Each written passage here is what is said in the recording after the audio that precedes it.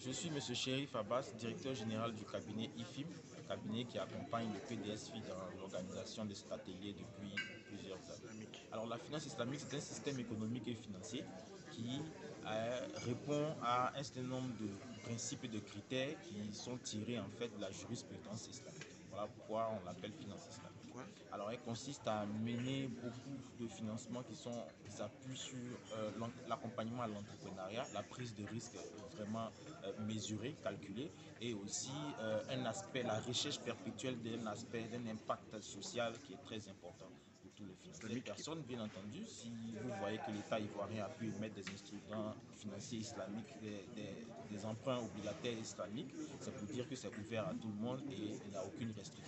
Les seules restrictions, c'est sur la nature des activités à financer qui doivent être, bien entendu, conformes à l'éthique de la jurisprudence. Aujourd'hui, en Côte d'Ivoire, nous avons des banques qui proposent des services de finances islamiques.